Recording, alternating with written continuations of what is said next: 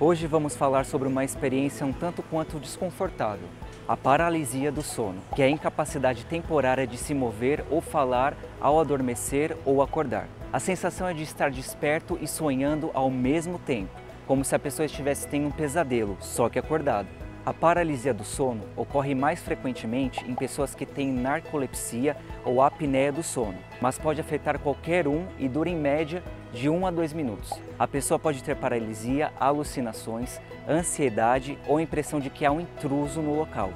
É considerada uma doença quando ocorrem pelo menos dois episódios num período de seis meses e quando está associada a forte carga emocional.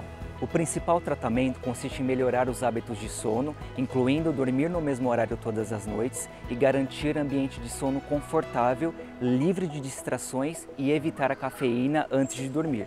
Se você tem episódios frequentes de paralisia do sono e está tendo problemas para dormir, compareça ao BS da sua região, consulte um especialista e mantenha a sua saúde em dia.